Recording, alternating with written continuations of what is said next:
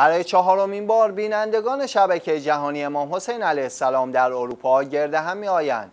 در پی درخواست های مکرر شیعیان و محبین اهل بیت علیهم السلام و نیز استقبال چشمگیر آنها از سه گرد همایی برگزار شده قبل چهارمین گرد همایی بزرگ بینندگان شبکه جهانی امام حسین علیه السلام در اروپا به مناسبت عید سعید قدیر خم در کشور آلمان برگزار می گردد. به گزارش ویوز این مراسم در شهر هانوفر آلمان برگزار می شود و به صورت زنده از شبکه جهانی امام حسین علیه السلام یک به زبان فارسی پخش خواهد شد.